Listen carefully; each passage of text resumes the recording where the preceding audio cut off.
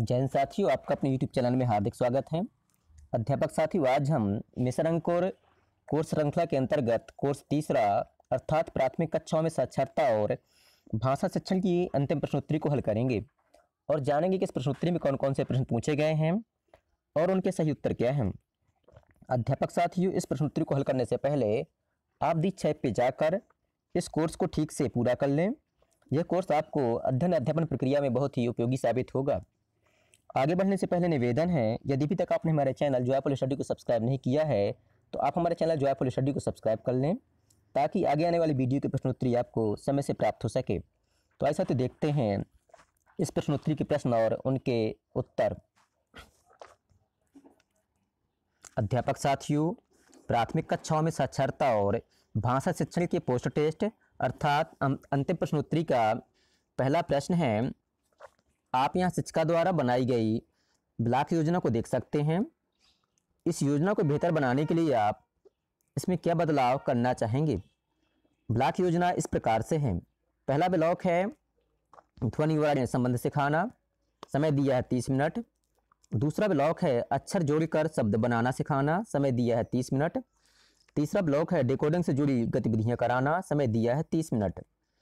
अध्यापक साथियों, आपके लिए विकल्प दिए गए हैं। पहला विकल्प है प्रत्येक दिन हर ब्लॉक में अलग अलग भाषा आयाम से जुड़ी गतिविधियाँ कराई जानी चाहिए थी। दूसरा है, प्रत्येक दिन हर ब्लाक में एक ही आयाम से जुड़ी गतिविधियाँ कराई जा रही हैं, ये सही योजना है। तीसरा है, प्रत्येक दिन निम्न और उच्च दोनों स्तर पर काम नहीं किया जा सकता, इसलिए यह सही योजना है। चौथा है, किसी भी प्रकार के बदलाव की आवश्यकता नहीं है। अध्यापक साथ इसका सही उत्तर है ऑप्शन पहला, प्रत्येक दिन हर हर ब्लॉक में अलग अलग भाषायाम से जुड़ी गतिविधियाँ कराई जानी चाहिए थी। अगला प्रश्न है, एक शिक्षिका के अनुसार प्राथमिक कक्षाओं में सुनने बोलने के कौशल का विकास करना उतना ज़रूरी नहीं है, जितना लिखने पढ़ने का। उनके इस विचार से आप सहमत हैं या नहीं? पहला ऑप्शन है सहमत, क्योंकि सुनना बोलना बच्चे घर से सीखते हैं। दूसरा ऑप्शन है असहमत, क्योंकि सुनना बोलना कौशल पढ़ने लिखने के कौशल से ज़रूरी है। तीसरा ऑप्शन है सहमत, क्योंकि सुनना बोलना बच्चे खुद सीख सकते हैं, लेकिन पढ़ना लिखना नहीं। चौथा ऑप्शन है असहमत, क्योंकि सुनना बोलना और पढ़ना लिखना चारों कौशलों का विकास आपस में जुड़ा हुआ है। अध्यापक साथ इसका सही उत्तर है ऑप्शन चौथा, असहमत, क्योंकि सुनना बोलना और पढ़ना लिखना चारों कौशलों का विकास आपस में जुड़ा हुआ है। अगला प्रश्न है, हमने कोर्स में शिक्षण से जुड़े सिद्धांत देखे। हमने कोर्स में शिक्षण से जुड़े सिद्धांत देखे, इनमें से सही सिद्धांत को चुनें। पहला है, मौखिक भाषा को साक्षरता से जोड़ा जाना ज़रूरी है। दूसरा है, बच्चों के लिए किसी लिखित सामग्री का समाज से संबंध समझना सिर्फ़ माध्यमिक और उच्च माध्यमिक कक्षाओं के लिए ज़रूरी है। तीसरा ऑप्शन है हर स्तर पर संतुलित और कारगर भाषा शिक्षण पर ज़ोर देना ज़रूरी नहीं है। चौथा ऑप्शन है अच्छा साहित्य भाषा शिक्षण का एक वैकल्पिक अंग होना चाहिए। साथ इसका सही उत्तर है, ऑप्शन पहला, मौखिक भाषा को साक्षरता से जोड़ा जाना ज़रूरी है। अगला प्रश्न है, शुरुआती कक्षाओं में प्रभावी भाषा शिक्षण के लिए निम्न में से किस आयाम पर काम किया जाना आवश्यक नहीं है? पहला आयाम है ध्वनि चेतना, दूसरा है शब्दावली, तीसरा है व्याकरण का ज्ञान, चौथा है अर्थपूर्ण पठन और पांचवा है मौखिक भाषा का विकास। अध्यापक साथ इसका सही उत्तर है आयाम तीसरा, अर्थात व्याकरण का ज्ञान।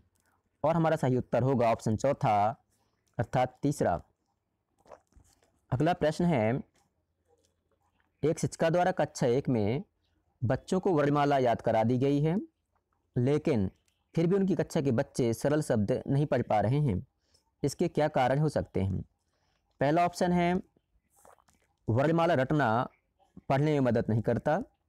दूसरा ऑप्शन है, वर्णमाला याद करना अर्थपूर्ण नहीं है। तीसरा ऑप्शन है डिकोडिंग पर पर्याप्त ध्यान नहीं दिया गया। चौथा ऑप्शन है, उपरोक्त सभी। साथ इसका सही उत्तर है, ऑप्शन चौथा, उपरोक्त सभी। अगला प्रश्न है, प्राथमिक कक्षाओं में भाषा शिक्षण के लिए सिद्धांत प्रभावी भाषा शिक्षण पर ज़ोर देना से क्या तात्पर्य है? ऑप्शन पहला है, कौशल और अर्थाधारित पद्धति पर साथ साथ काम करना। ऑप्शन दूसरा है, निम्न और उच्च स्तर के कौशलों पर साथ साथ काम नहीं करना। तीसरा ऑप्शन है, ध्वनि के संबंध और ध्वनि चेतना पर साथ साथ काम कराना। चौथा ऑप्शन है अलग अलग अर्थपूर्ण संदर्भ देकर पढ़ना सिखाना। अध्यापक साथ इसका सही उत्तर है। ऑप्शन पहला, कौशल और अर्थाधारित पद्धति पर साथ साथ काम करना। अगला प्रश्न है, राधिका जी कक्षा एक में बच्चों को वर्ण समूह में प्रत्येक वर्ण अर्थपूर्ण संदर्भ में सिखाती हैं। यह किस तरह के शिक्षण का उदाहरण है? पहला ऑप्शन है आकस्मिक शिक्षण। दूसरा ऑप्शन है अंतर्निहित शिक्षण। तीसरा ऑप्शन है योजनाबद्ध और मुखर शिक्षा। चौथा ऑप्शन है आकस्मिक और अंतर्निहित शिक्षण। अध्यापक साथ इसका सही उत्तर है। ऑप्शन तीसरा, योजनाबद्ध और मुखर शिक्षा। अगला प्रश्न है, दिए गए उद्देश्यों में से कौन सा उद्देश्य प्राथमिक कक्षाओं में भाषा शिक्षण के लिए महत्वपूर्ण नहीं है? पहला ऑप्शन है, साक्षरता को बच्चों के लिए प्रासंगिक बनाना।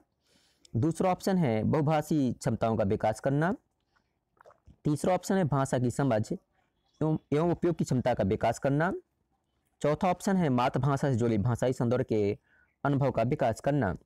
अध्यापक साथ इसका सही उत्तर है ऑप्शन चौथा, मातृभाषा से जुड़े भाषाई सौंदर्य के अनुभव का विकास करना। अगला प्रश्न है शिक्षक कक्षा दो में जीआरआर सिद्धांत का उपयोग करना चाहते हैं? उन्हें किस क्रम में इन शिक्षण प्रक्रियाओं का उपयोग करना चाहिए?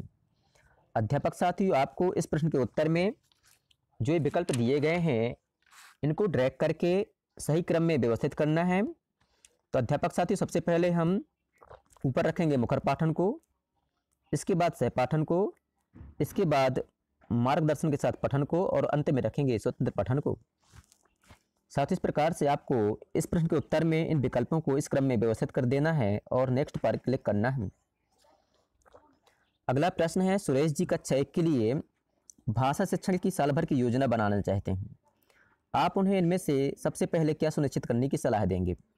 पहला ऑप्शन है कक्षा एक के सीखने के लिए प्रतिफल पढ़ें। दूसरा ऑप्शन है कक्षा एक के लिए भाषा शिक्षण के मुख्य आयाम और उनसे जुड़ी मुख्य क्षमताओं का चयन करें। तीसरा ऑप्शन है कक्षा एक के लिए कक्षा एक के लिए सही गतिविधियाँ छाँटें चौथा ऑप्शन इनमें से कोई नहीं।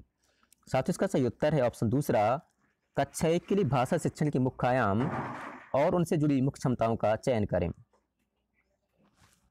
अध्यापक साथ इस प्रकार से इस प्रश्नोत्तरी में हमने दस में से सभी दस दसों प्रश्नों के उत्तर दिए हैं। इसके बाद आपको सबमिट बटन पर क्लिक करना है। जैसे आप यहाँ पर क्लिक करेंगे तो आपके सामने आपके द्वारा सही किए गए उत्तरों की संख्या आ जाएगी। आप हमें कमेंट कर ज़रूर बतलाएँ कि आपको कुल कितने अंक प्राप्त हुए हैं। आपको वीडियो पसंद आया हो, वीडियो को लाइक करें, अपने अध्यापक साथियों के साथ शेयर करें, और हमारे चैनल जॉयफुल स्टडी को सब्सक्राइब करें। धन्यवाद।